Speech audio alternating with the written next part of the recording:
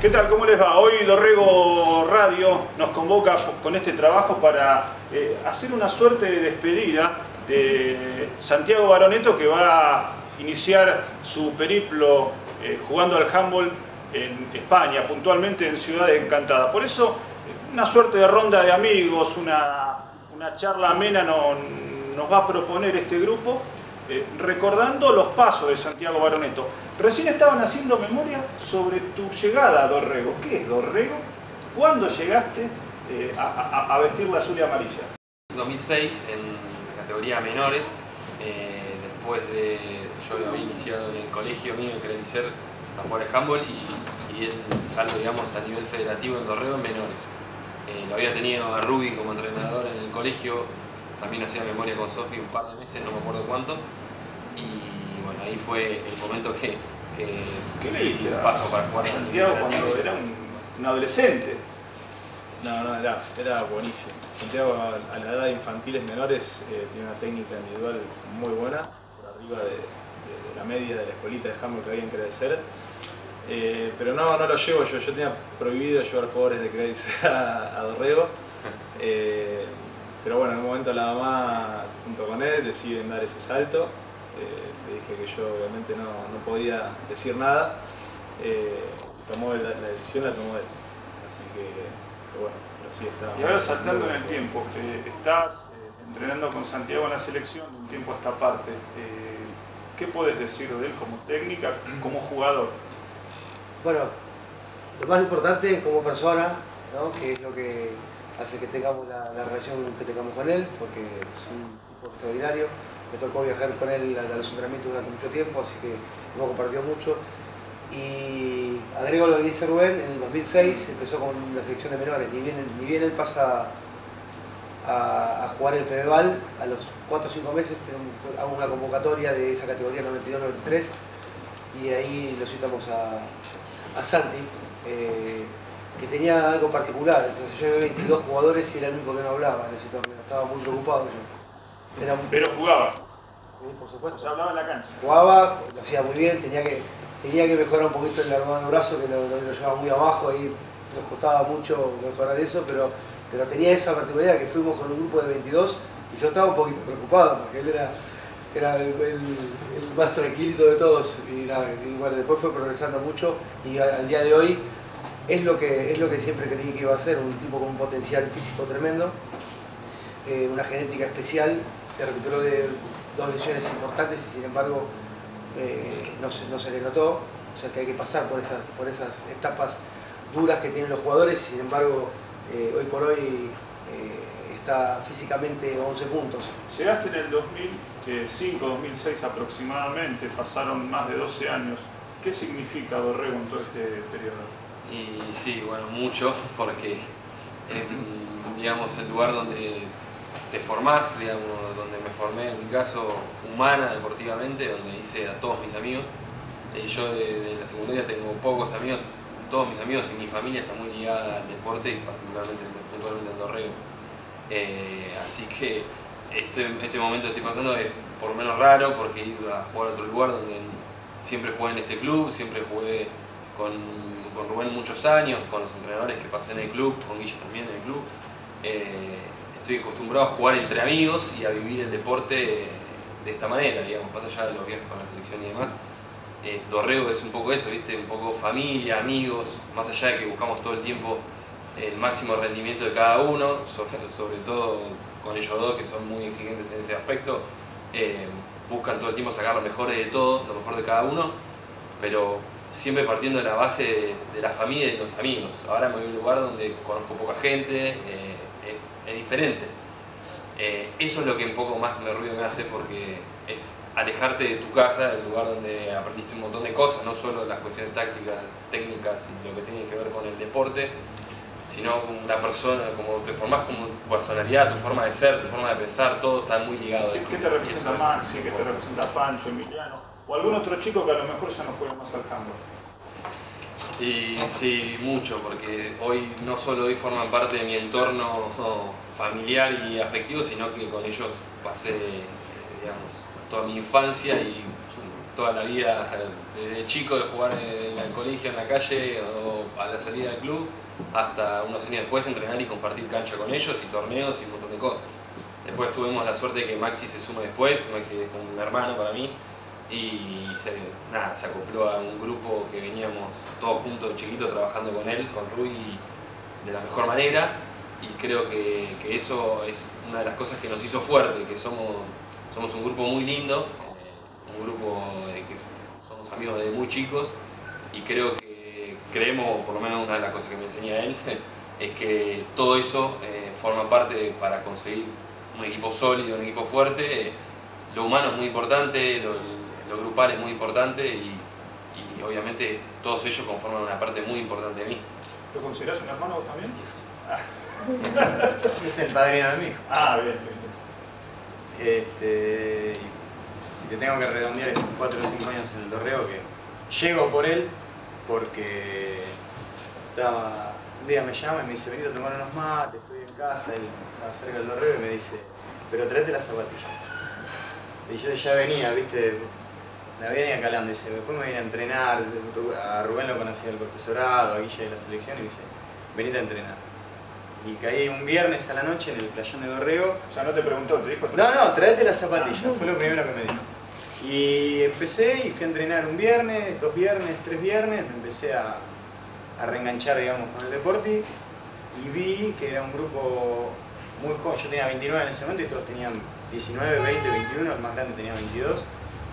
Este, un grupo que había ascendido a liga, que había mantenido la categoría y un grupo que se veía que tenía mucho potencial, pero que necesitaba tiempo de labor. Y bueno, fue en el 2014 que me sumo con Guille como entrenador, que se mejoró un poquito más en liga, se mantuvo la categoría y después con, con Rubén a partir de 2015 ya con un grupo un poquito más homogéneo y más madurado en el juego y en un montón de aspectos.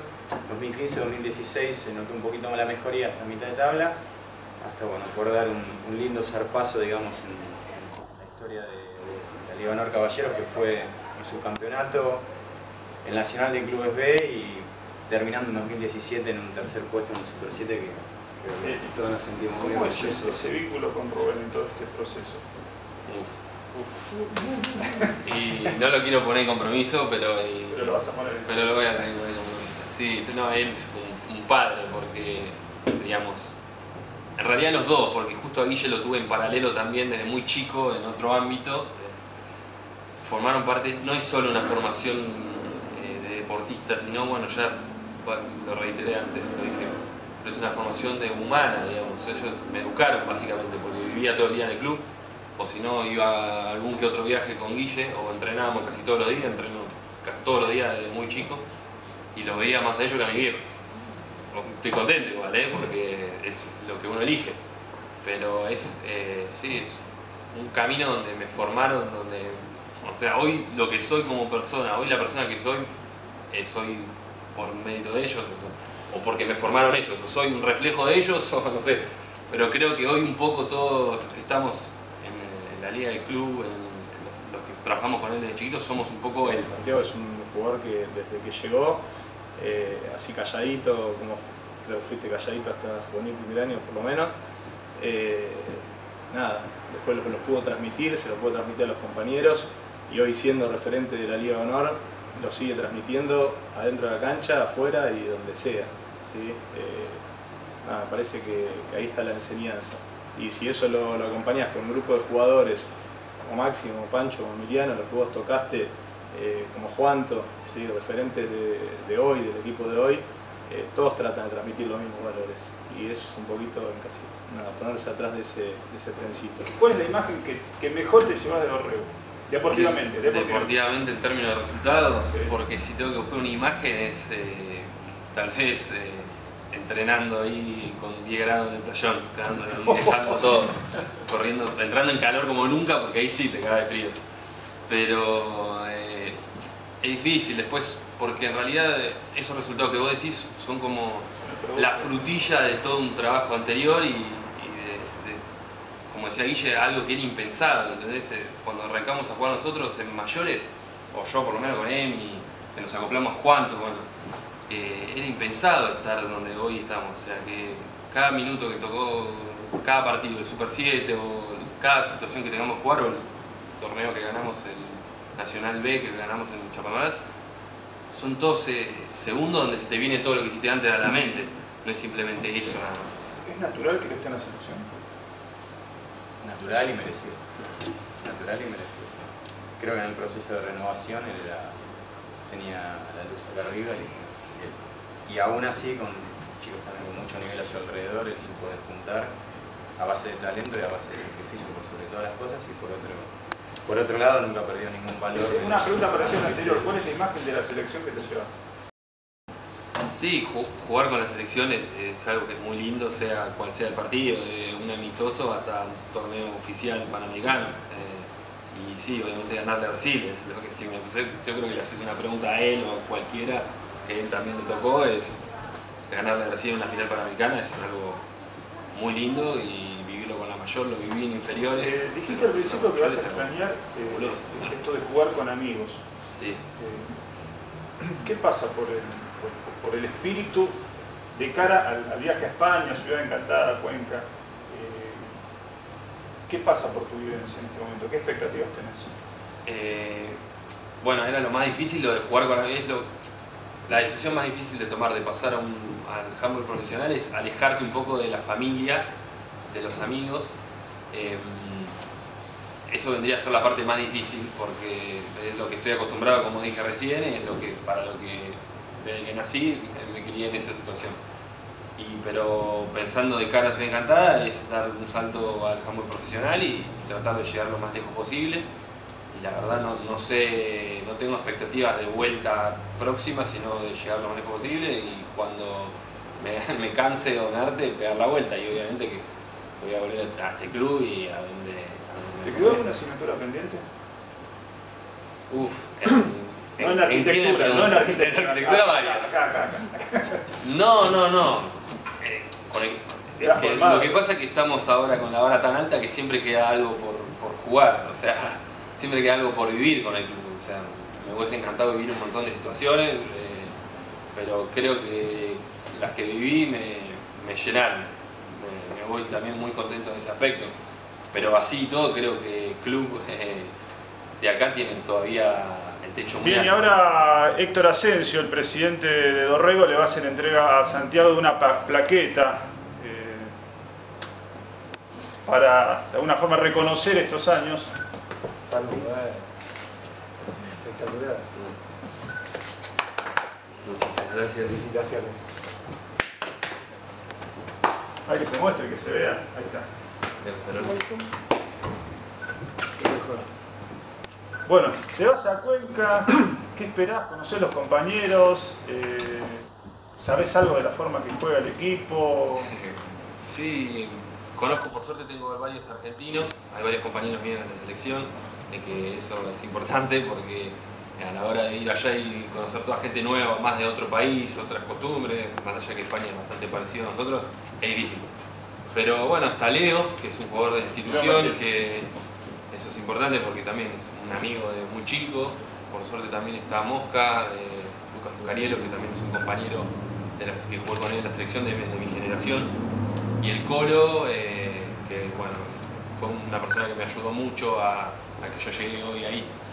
Eh, si bien tuve otras, otras ofertas para ir a otros clubes, ninguna de, de esta envergadura, de un equipo de Asobal que juega torneo de Europa League, eh, es un equipo que, que está para pelear los primeros, sí, la primera mitad de tabla para arriba, eh, es un equipo muy fuerte de Asobal que es la ¿Qué te queda por decir más importante de España. Antes de terminar este, este homenaje? Bueno, si tendría que decir algo, mira, me había olvidado, justo él nos nombró a Juan, es- que fue una persona también que junto a, a Rubén en los años de, de Liga Honor me, ayudó mucho, eh, en momentos tal vez complicados de la vida, eh, él estuvo muy presente como él, como Rubén, y creo que no lo había nombrado a Juancito, y bueno, ahora que lo tengo en Liga también de compañero, me parece que se merece eh, ahí un- por lo menos un subrayado sobre su nombre.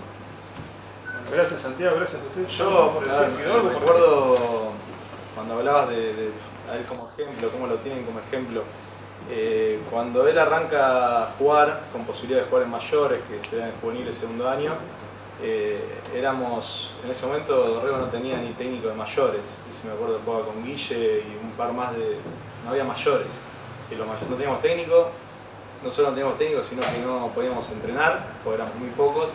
Y, subir en esa, en esa realidad, que, eso, que estos jugadores hayan, subido tan jóvenes, porque como subió él, subió Pancho Arrón, subió Emiliano, subieron todos los que dijimos, eh, sin un referente arriba, fue muy difícil. ¿sí? Creo que esos fueron son los años más difíciles del club, ¿no? porque ya había pasado una camada de jugadores, incluyéndome, que era que había formado Guille, que hoy juega en la séptima. Eh, y creo que hoy la, la, situación es totalmente diferente. Hoy él se va y creo que lo que, lo que más deja el club es eh, nada, una, una, camada fuerte de liga que, deja como referencia para los más chicos un montón de cosas, un montón de valores y cosas que antes él no tuvo. Creo que eso es lo más importante que, que hoy Santiago le deja al club. ¿no? A él, como Maxi, como todos los Gracias a todos por este momento y lo mejor, Santiago. Gracias.